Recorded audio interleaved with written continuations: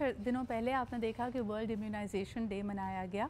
बच्चों के लिए, ख़ास तौर पे जो उनकी इब्तदाई ज़िंदगी होती है, उसमें बड़े अहम हैं ये वैक्सीनेशन जो उनको मुख्तलिफ़ महलिक बीमारियों से क़वत मदाफ़ियत देते हैं। कई लोगों के जहनों में ये अभाम है कि जी, ये नहीं लगवाने चाहिए, इसके साइड इफ़ेक्ट्स होते हैं, या ये लगवा भी लें तब भी जो होने वाली चीज़ है वो हो जाती है। याद रखिए, जो साइंस है वही कहती है कि जब आप इन वैक्सीन का इस्तेमाल करते हैं तो खुदा न खास्ता अगर उस वबा में, उस मोहलिक बीमारी में आप मुबतला होते भी हैं तो उसकी सिवेरिटी कई गुना कम है और ये अल्लाह ना करे आपको उन कॉम्प्लिकेशंस की तरफ़ लेके जाए जो जानलेवा साबित हों। बाकी अल्लाह ताला सबके लिए आसानियाँ पैदा करे। आज बिलखसूस इन्हीं वैक्सीनेशन की बात करेंगे कि बच्चे की ज़िंदगी की जो बुनियाद है जो पहले हज़ार दिन हैं उसमें आपको किन किन चीज़ों का ख्याल रखना है? कौन सी वैक्सीन लगानी हैं? ये बूस्टर्स और मुख्तलिफ़ जो इंजेक्शंस हैं वो कितने यू नो कितने गैप्स के पास डलते हैं? तो ये आज का हमारा मौजू है। हमारे साथ मौजूद हैं डॉक्टर इब्राहिम यूसुफ। आप पीडिटिशन भी हैं स्पेशलिस्ट हैं इस मामले के। बहुत बहुत शुक्रिया डॉक्टर इब्राहिम आपकी मौजूदगी का। मुझे बताइए कि the baby is just born कुछ लोग कहते हैं कि जी पैदाइश के फ़ौर बाद जो टीका लगाया जाता है एक दिन बाद या अगले 48 घंटों में उसका निशान हम हमेशा कैरी करते हैं एक छोटे से डिम्पल की सूरत में। वहाँ से शुरुआत करते हैं कि वो किस चीज़ का इंजेक्शन है? बेसिकली uh, उसको कहते हैं बी सी जी ओके और वो है एक बैक्टीरियल ट्यूबरक्लोसिस की प्रोटेक्शन वैक्सीन ओके और उसमें जो आपने कहा कि जो निशान बनता है जी। व्हाट इज़ द प्रोसेस और बहुत अच्छा सवाल किया लोगों को ये बड़ा कॉन्सेप्ट होता है कि यार ये निशान क्यों बनता है। बेसिकली बीसीजी एक ट्यूबरक्लोसिस से बचाने वाला एक जानलेवा बीमारी हुआ करती थी एक डिकेट्स में जो बीसीजी आई इसके हम्म। बाद हमने लगाना शुरू किया उसके बाद इसकी प्रोटेक्शन हम्म। लाइफ पड़ी और आप देखें ट्यूबरक्लोसिस हमारे मुल्क में बेहद ख़त्म हो गई। बहुत ही शादर और नादर कुछ टेन परसेंट आवाम को ही ट्यूबरक्लोसिस होती है। वो भी बहुत ज़्यादा एंडेमिक और एपिडेमिक एरियाज़ में चले जाएँ जब। उसमें भी कुछ चीज़ें ऐसी हैं जो बहुत सारे ट्यूबरक्लोसिस वाले पेशेंट भी रिकवर हो जाते हैं with the new research and new treatments basically उसमें क्या होता है? विन और यू डब्ल्यू आई एन और यू उसमें एक बीसीजी का निशान बनता है जब हम इंजेक्शन पास करते हैं उसमें बनता है व्हील हम्म। फिर उसकी थोड़े दिनों बाद इंड्यूरेशन हो जाती है। हम्म। फिर वो न्यूड्यूल बनता है। न्यूड्यूल के बाद वो थोड़ा सा पकना शुरू होता है उसको कहते हैं अल्सर्स और वो फट जाता है। फटने के बाद वो एक निशान निशान छोड़ देता है सारी ज़िंदगी के लिए कि you are been vaccinated for tuberculosis in a developing countries और under develop countries not in the developed countries अच्छा। कौन से वाले कंट्रीज़ जो यूएस वेस्टर्न कंट्रीज़ है उसमें बीसीजी का कोई रोल नहीं है क्योंकि वहाँ पे ट्यूबरक्लोसिस नहीं है। ये इन्हीं मुल्क में है जिनमें बहुत ज़्यादा ट्यूबरक्लोसिस के और ये बहुत इफ़ेक्टिव है आपकी प्रोटेक्शन के लिए? ये फाइव इयर्स तक आपके प्रोटेक्शन करती है। इसके बाद आपकी इम्यूनिटी इतनी अच्छी डेवलप्ड हो जाती है कि आप ट्यूबरक्लोसिस के इन्फेक्शन बिल्कुल सही। अच्छा एक और बड़ा इंटरेस्टिंग सवाल आपके लिए आया है कि आजकल प्रीमीज़ बहुत ज़्यादा बच्चे हो रहे हैं यानी प्री मेच्योर बेबीज़ जिनकी विलादत जल्दी हो जाती है। तो मुझे बताएँ कि उनके लिए कई दफ़ा देखा गया है कि उनकी ब्रीदिंग कॉम्प्रोमाइज़ है या उनके लंग्स या दूसरे अज़ा अगर प्रॉपरली डेवलप नहीं है तो while the mother is carrying them and also right after birth इनको कौन सी वैक्सीन दी जाती हैं? देखिए माँ के माँ के लिए तो वैसी बहुत सारी वैक्सीन हैं जो प्री प्रेगनेंसी हम देते हैं जैसे एम एम आर है rubella basically rubella is a severe infection जो टॉर्च इन्फेक्शन कराता है। हम्म। वो इन्फेक्शन बहुत ज़्यादा जो है बच्चे के अंदर कैरी करता है बहुत सारी कॉम्प्लिकेशन करता है। बहरहाल जो अच्छी गायनाकोलॉजीज होती हैं प्री जो pre pregnancy planning your pregnancy pregnancy के पहले ही रुबेला का वैक्सीन कर दे देती हैं। इसके अलावा कोई वैक्सीन नहीं है। दूसरा, अगर फ़र्ज़ करें कि माँ को अगर कोई चिकन पॉक्स की वैक्सीन या मीज़ल्स की वैक्सीन या उसकी वैक दूसरी एक्स वाई जी वैक्सीन नहीं लगी हैं तो प्राय वैक्सीन जब भी ट्राई करना है तो आप वैक्सीन को पहले लगवा लें, उसके बाद आप प्रेगनेंसी ट्रायल करें, क्योंकि अगर चिकन पॉक्स अगर इस दौरानिए में हो जाए तो थोड़ा सा बच्चे के लिए कॉम्प्लिकेशन हैं। अगर आपको मीज़ल्स हो जाते हैं माँ को तो बच्चे के अंदर कुछ कॉम्प्लिकेशन हैं तो प्रायर आप प्रेगनेंसी वैक्सीन लगवाएँ।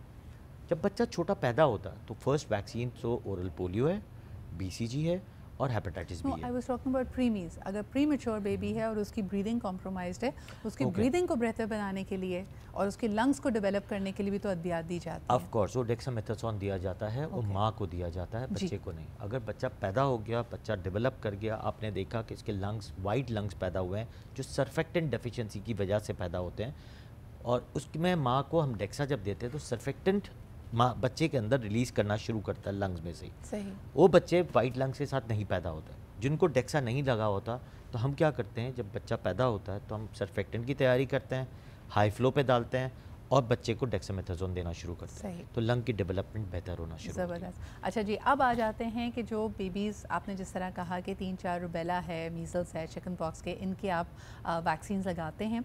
एक सवाल ये भी आया है हमारे यहाँ अब बहुत बड़ी तादाद में लोग डायास्पोरा पाकिस्तान से बाहर भी रहता है और ऐसी कोई खुशखबरी है तो यकीनन आप चाहते हैं कि आप अपने बेबी को लेके वापस मुल्क में आएँ बाकी रिश्तेदारों से मिलाएँ उसके लिए ऑप्टिमम पीरियड क्या है? अगर बच्चे को तीन महीने तक जब ये तमाम वैक्सीन लग जाएँ तब ट्रैवल कराया जाए चाहे पाकिस्तान से बाहर ले जाना हो या पाकिस्तान लाना हो इसमें आपकी गाइडेंस चाहिए। बी सी का वैक्सीन बाहर नहीं लगता तो जो बच्चे बाहर जिन्होंने पैदा करवा लिए लोग हम्म। आजकल बहुत ज़्यादा बच्चे बाहर पैदा करवाते हैं वहाँ से आते हैं।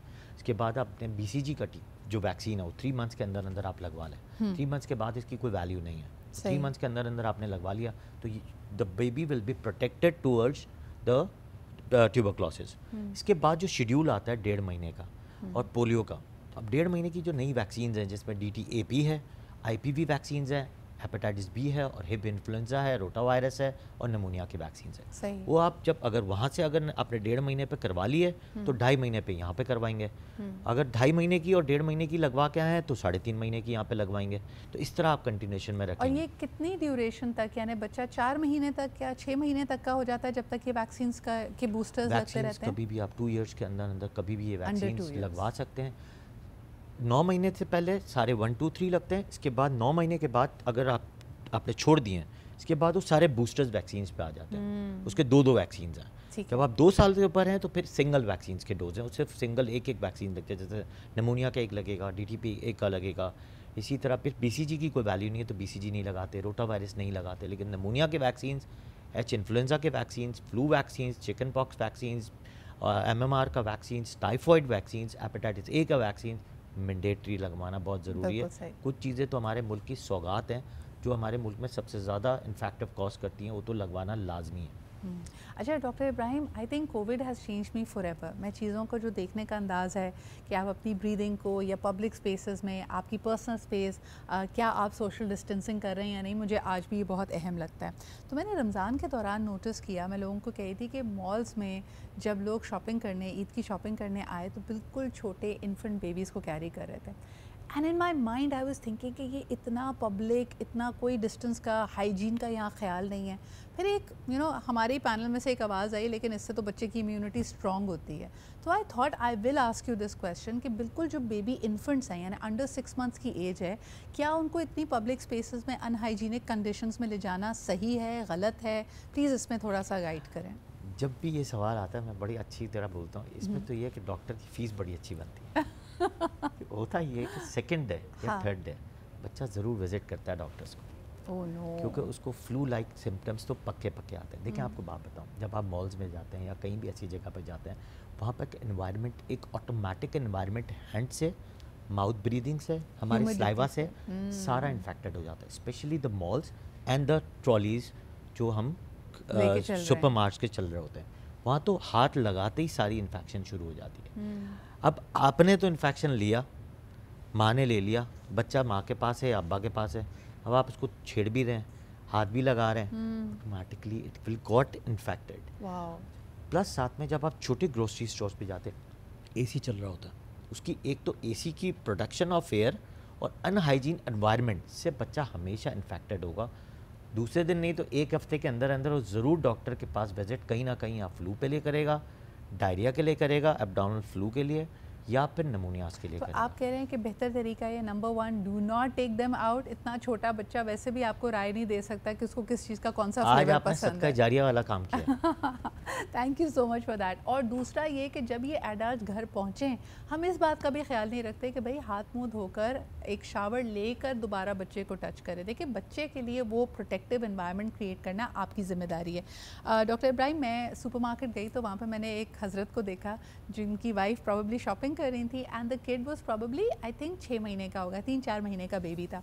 अब आजकल इतनी गर्मी है कि वो बच्चे को उन्होंने बड़ा क्यूट सा रॉम्पर पहनाया हुआ था नो शूज़ बच्चा भी स्लीपलेस और मुझे ये देखकर हैरत हुई, जैसे आपने अभी एसी का ज़िक्र किया ना, वो उसको फ्रोज़न फूड्स के पास लेकर खड़े थे। And the moment I saw मैंने कहा, शायद ही is a new parent I am like देखें आपके बच्चे को ठंड लग जाएगी।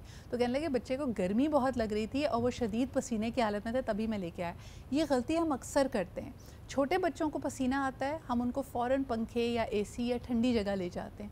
Is that feasible? Is that a bad practice it's a bad practice. Okay. It's a very bad ये लोग समझते हैं कि मिथ है कि इसको गर्मी लग रही है गर्मी कुछ भी नहीं लगती होती। इसको अच्छी इन्वायरमेंट ही चाहिए होता है। मैंने कहा ना एसी वाला जो वो वाला इन्वायरमेंट जो सुपर स्टोर वाला इन्वायरमेंट है जो ग्रोसरी स्टोर वाला है हम्म। या सिनेमाज वाले इन्वायरमेंट होते हैं वो फुल इन्फेक्टेड होते हैं तो हम्म। उसका एसी उसकी फ्रीजर जितने भी हैं आप सब गंदा है सब गंदा है और आप उसका पूरा इन्फेक्शन अपने अंदर भी लेते हैं और बच्चे के अंदर भी लेते हैं whenever you go to the grocery store अपना हाथ को सैनिटाइज़ करें उस ट्रॉली को सैनिटाइज़ करें जहाँ जहाँ मूव कर रहे हैं वहाँ पे हाथ लगाने से परहेज़ करें हम्म। आपने तो सुना देखा होगा ना तो आजकल के फ्रूट्स हैं उसमें भी इतने कलर चढ़ा देते हैं कि वो हमारे हाथ में आते तो उसमें भी इन्फेक्शन कॉज अच्छा, कर जाता एक और अहम सवाल करना है जिसके बाद हम इस सेगमेंट को क्लोज करेंगे। आपने अक्सर देखा होगा पेरेंट्स के लिए भी मुश्किल है बिल्कुल न्यू बॉर्न बेबी से लेके all the way till they turn one बच्चे के नाखून काटना सबसे मुश्किल काम है और उसमें अक्सर क्योंकि बच्चा आपके काबू नहीं आ रहा होता है हल्का फुल्का कट लग जाता है। माई क्वेश्चन इज़ कि इतनी छोटी उम्र के बच्चे को बैंडेज लगाएँ डिसइनफेक्ट करें ज़ख्म को खुला छोड़ दें व्हाट इज़ योर रिकमेंडेशन अच्छा पहले एक बड़ा छोटा सा हम्म। टोटका बता देता हूँ। पहले तो आप बच्चे के जो नाखून है हाँ। उसके थोड़े से थिक होते हैं ना आपने थोड़ा सा नाखून को आपने डाला थोड़े से पानी में हाँ जी। हल्के से सॉल्ट डाल के पिंक सॉल्ट डाल के और थोड़ा सा पानी में डाल के वो नरम हो जाए कि उसको कट ना लगे। ठीक है।, है? आपने जैसे ही डाला अब नए मैंने आपको बताऊँ कि नेल कटर्स की जगह स्क्रैपर्स आ गए। मशीन क्लिपर्स भी आ गए। क्लिपर्स भी आ गए क्लैप वो मशीन आ गया है हम्म। जो आराम से बच्चे के जो है ना वो नेल्स को फ़ाइल करते हैं तो बहुत सस्ता है पंद्रह सौ दो हम्म। हज़ार रुपये का मिलता है आजकल तो ऑनलाइन स्टोर पर हर जगह मार्केटिंग हो रही है। और वहाँ पे आपने इसको कर दिया तो बच्चे को ना कभी कुछ होगा। अच्छा डिसइनफेक्टेड ऑफकोर्स कहीं भी कट लगता है तो छोटे बच्चों को अलग से हल्का सा थोड़ा सा पायोडीन लगा के हम्म। और कोई भी एक ऑइनमेंट लगा दें। बस वो ऑइनमेंट लगा के थोड़ा सा हाथ को पकड़ के रखें रब करें उसके बाद साफ़ कर दें उसको दोबारा क्योंकि वो बच्चा दोबारा मुँह में ना ले ले। दोबारा लेगा तो वो ऑइनमेंट मुँह में नहीं जा सकती। बॉडी में चला जाएगा बॉडी में चला जाएगा। सही। तो ये बड़ा इंपॉर्टेंट है और मेरे ख्याल में आप दो से पाँच साल की उम्र में अगर देखें तो वो कार्टून कैरेक्टर वाली बैंडेज बड़ी पसंद होती हैं। और छोटे बच्चों को तो ज़रा सी भी आउची हो जाए या मस्कीटो बाइट हो जाए तो वो बड़ी शान से चला करते हैं फिर उसके बाद हाथ भी ऐसे ही रहता है।